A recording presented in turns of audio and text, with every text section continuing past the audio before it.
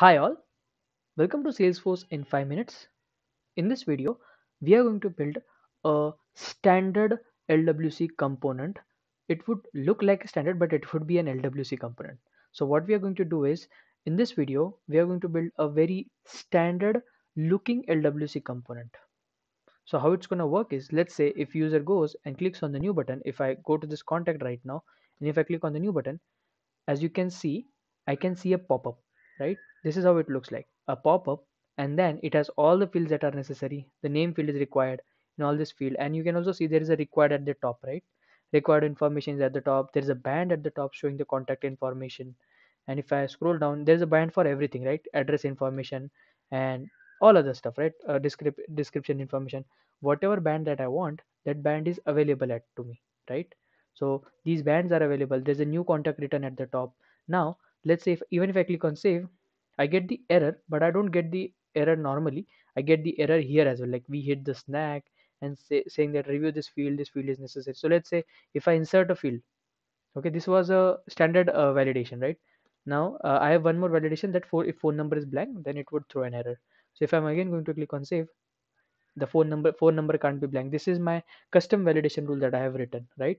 So this is also getting fired but the pop-up is coming at the bottom. As you can see if i click on this the pop-up goes the error message goes away. If i click again on this uh, the error message comes back. If i click on save cancel the pop-up goes away right? If i again click on new and if i put some values inside it and click on save and new pop-up will stop and one more pop-up will get opened up right so this is how the basic functionality of a standard recorded uh, standard form is right? Standard normal uh, uh, salesforce form is. Now in this video we are basically going to bring build the same kind of form exactly same kind of form using lwc but before getting started if you like my videos i request you to please subscribe to this channel. So before even jumping to it before even jump into the videos just keep in these things mind. Like for an example i was getting the error message over here lookups are auto populated this have i have a required information text uh, text written over here. New contact is written at the top. If i save the validation files over here all these things right? All these things are already available. I am going to build it using a standard uh, lwc component. And why am i going through this path is the customer. Let's say someone has asked me that whenever let's say my lead source is web right? If my lead source is web i want to hide a particular field let's say i want to for, uh, for hide this reporting account number field if my lead source is web. Okay that's what i want to do. Along with that if my lead source is let's say uh, web uh, what i want to do is i want to populate the description as well that the lead or the contact created is from the web. So now if you think about it in normal ways i cannot do it using standard ways right? For an example if i wanted to do it I, I won't be able to do it in this current form right? We can use dynamic forms but dynamic form works only in the case of normal view page right? It does not works on new and create on edit page right? So it does not work in that cases. So that's why i'm using lwc so someone might ask why are you not using flows? Right? We can use we can create the same ui using flows as well. You can create a divisions and you can divide the fields into the two parts and so on and so forth. But if you think about it i can't add this kind of error message at the bottom using flows. Right? So i cannot perfectly achieve the standard ui using flows and neither i cannot use the standard page as well because i want that if my lead source equals to web I want to hide a particular field. Also, I want to populate this description field. Okay, population of the description field can be said can be done using the uh, triggers as well. That's not a problem. But if I want to hide this field immediately uh, on runtime right now, if I make it as web, I want to hide this field immediately. I think so that cannot be done using normal standard UI. Yeah, neither you can do it using. Of course, you cannot do it using trigger, but you can do it using Aura component and, and LWC. Now LWC is more trending. That's why we are going to go with LWC.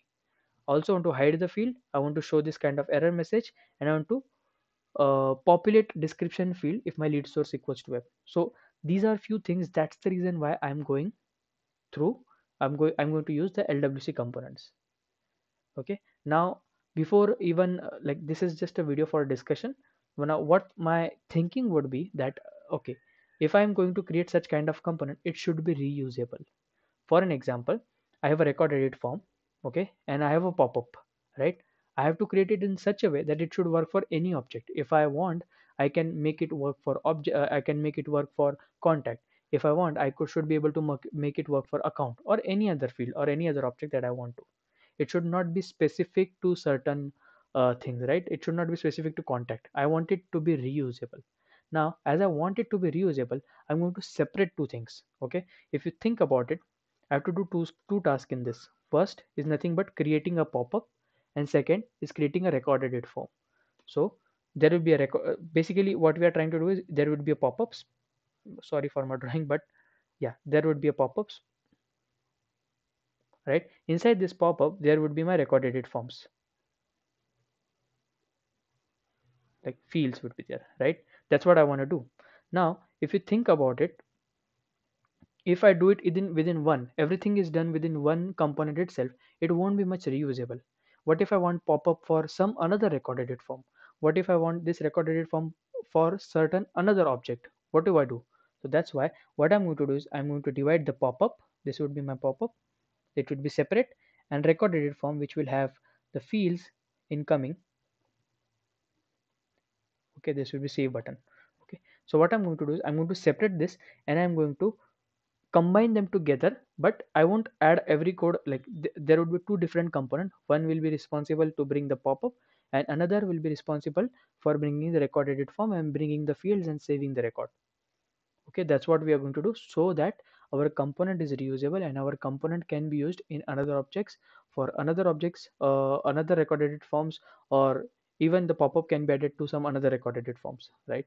So that's what we are going to do. So in this video what we are going to do is we are going to just discuss about it. And another thing is i am going to divide the overall task into the smaller number of user stories rather than this okay? Oh, i have already done it already i think so. First user story one uh, what i'm going to do is i'm going to divide this task into the smaller number of chunks. So basically first i'm going to just build a simple record edit form okay? Nothing else. Uh, if we try to do everything at one go it will be much more difficult. So instead of that what i'm going to do is i'm going to just build a simple record edit form okay? Nothing else. Now note that the fields that will be visible inside the record edit form must be manageable. User should be okay i'm going to user should be able to remove or add the fields in the future as per as the need so that's what i'm going to do. I'm going to build a smaller record edit form which will be very independent and the fields that will be coming inside this record edit form must be manageable. That's what the requirement is right? So if i want to do that i need to bring all those fields from the field set. So let's say there are five fields inside my page. Tomorrow if i just want four fields or if i want 10 fields this should be manageable right the customer should not always go to the developer and ask to add more fields. Instead they should be able to do it on their own. So what we are going to do is we are going to bring the fields that are available inside the record edit form from the field sets. Okay this is the first thing that we are that's what we are going to build. Next thing is that let's say if lead source equals to web in that case we accordingly need to populate the description and also hide the field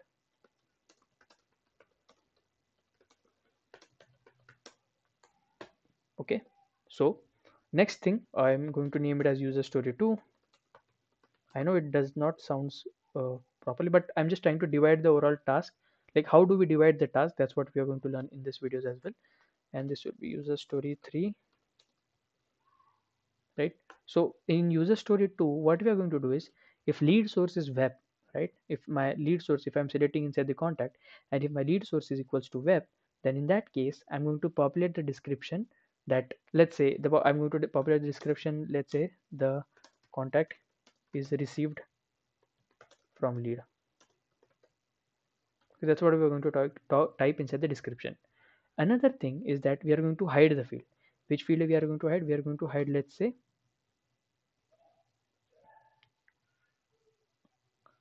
uh, let's say we are going to hide the uh, let's say reporting account number okay? We are going to hide this field as soon as the lead source equals to it. Okay we are going to hide this field. User story 3 we are going to manage the validations right? So now there are two validations. One is system validation and another another is nothing but the custom validation right? If uh, system validation co uh, consists of either required fields right? And custom validation includes of either uh, error while creating data. Or it can be even uh, validation rules. So we need to handle this inside the user story 3 uh, where we are going to uh, handle the validations that whatever we have right? And inside the user story 4 right in user story 4 what we are going to do is we are going to make this form appear inside a pop-up right? In in first three user stories we are just building a simple record edit form. If user clicks on new they will be going to a normal uh, normal screen another screen and there will be a normal record edit form and they will be able to insert the data that they want. But instead in user story 4 we're going to build a pop-up. In that pop-up everything behind this would automatically grayed out just like this just like standard uh, it's going to be grayed out and our pop-up must appear at the top right? That's what we are going to do. And in user story 5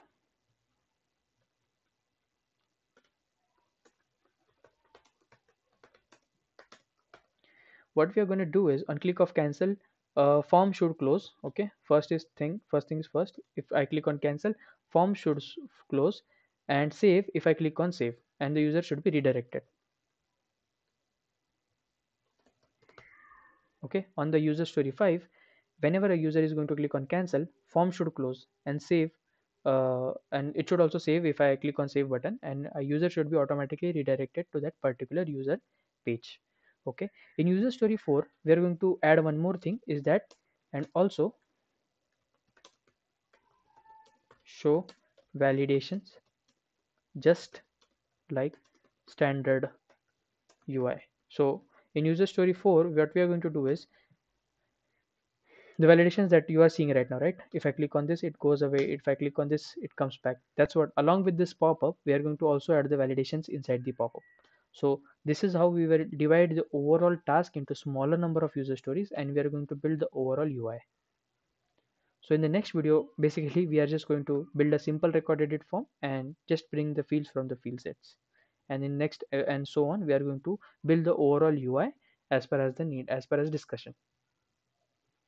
So stay tuned to watch the next video where i'm going to start building this uh, overall things into smaller number of user story and completely build the overall form. If you found this video helpful or entertaining uh, please subscribe to this channel